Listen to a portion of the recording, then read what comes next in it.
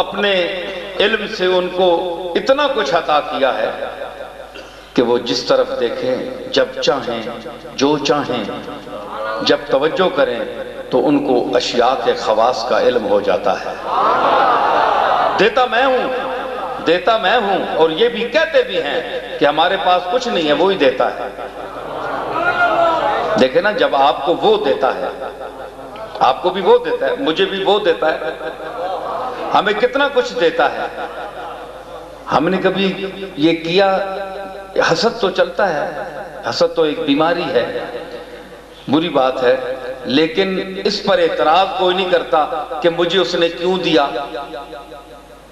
अपने आप पर एतराज़ नहीं कर हाँ दूसरे को अगर देता है वो, जिसके साथ आपकी नहीं लगती तो आप अल्लाह से ये नहीं कह सकते, अल्लाह इसको क्यों दिया है, क्योंकि अल्लाह आपकी सुनता ही नहीं। अगर सुनता और मानता तो आप ज़रूर कहते कि इससे छीन ले। इससे छीन ले। हम यहसदून अन्नास अलामा मिन फजले क्या ये हसद करते हैं जो मैंने अपनी मखलूक को अता किया है? चीज़ मेरी है जिसको जो चाहे दूँ। ये कौन है आपस में हसद करने वाले? कुरान तो ये फरमाता है। हमारी मानता नहीं है, अपना फजल। यही वजह है, हमारा चोटी का दुश्मन है। मुखालफ है, हम उसे देखना नहीं चाहते, एक नज़र। लेकिन उसको अल्लाह ने नवाजा हुआ है। हमारे बस में हो अगर तो हम उसका सांस लेना भी दूभर कर दें, मुश्किल कर दें। लेकिन साबित हुआ कि अल्लाह ने इंसान को कुछ दिया भी है और बहुत कुछ नहीं भी दिया बहुत कुछ अता किया है, बेमांगे दिया है। बोलना, चालना, समझना। लेकिन बहुत कुछ नहीं दिया। मसलन इकतदार, इख्तियार। ये अगर हम और आपके बस में होता तो आज कितने लोग दुनिया से चले गए होते? भूखे मर रहे होते, गरीब हो जाते, मुफलिस हो जाते, कंगाल हो जाते। और हम अपनी बुजुर्गी और पढ़ाई को साबित करते कि हम ही बड़े हैं। अल्लाह ने फरमाया, नहीं, ये निज़ाम मीशत और इज़्ज़त और लेना देना नफ जरर, ये बर रास्त मेरे इख्तियार में है। मेरे कंट्रोल में है। मैं अगर चाहूँ तो फिर उनको भी दे दूँ, चाहे आजमाइश के लिए दूँ। वो मंशा मैं समझता हूँ, मैंने क्यों दिया ऐसे लेकिन तुम कौन हो? जब तक फिरौन का इकतदार रहा, कोई उसको नहीं उतार सका। लेकिन जब उतारना चाहा तो वो बिठा नहीं सका। तो ये अल्लाह ने एक निज़ाम रखा है कायनात में। तो एक खास तबका है जिनको ये चीज़ें दी हैं। तो उनका इल्म जो है और उसका ज़िक्र कुरान में कर दिया। अब आप खुद कुरान पर ईमान रखते हैं, मैं रखता हूँ बेहमदिल्ला हम मुसलमान हैं सब। तो गौर फरमाएँ कि वजाहत जो परिंदों के जबानों का इल्म रखते हैं, जिन आवाजों का कोई तलफ़ुज नहीं है, कोई माना नहीं है, कोई जबान नहीं है, और हर परिंदे की अलग बोली है, अंदाज अलग है उसका। तो कोई है जो इनकी आवाज़ को समझे?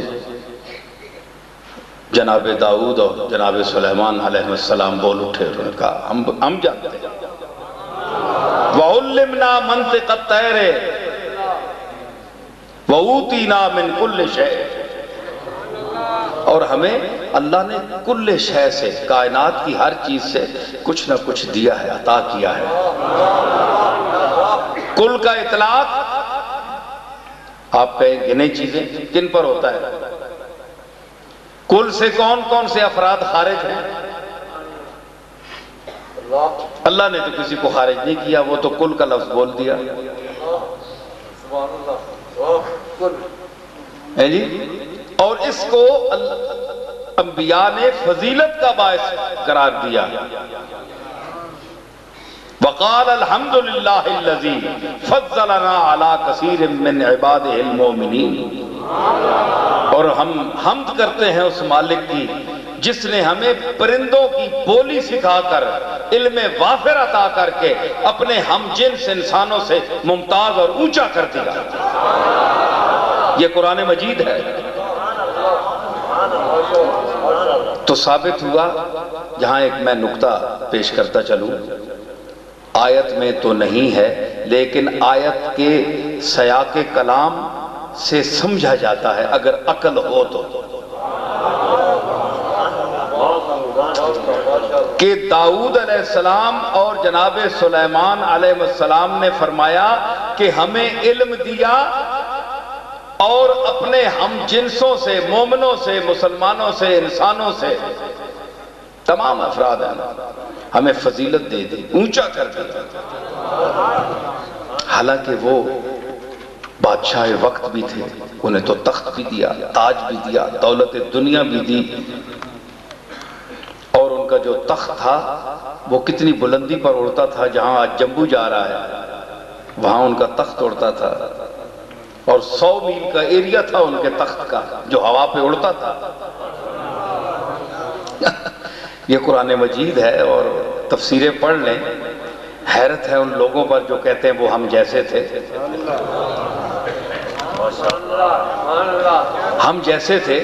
सौ मील की एरिया मुरबा मील, तख्त उड़ रहा है हवा पर। घोड़े भी ऊपर हैं, देगे भी ऊपर रखी हुई हैं। जिन्नात और इंसान तमाम उड़ रहे हैं और जहाँ हवा उड़ा कर ले जा रही है।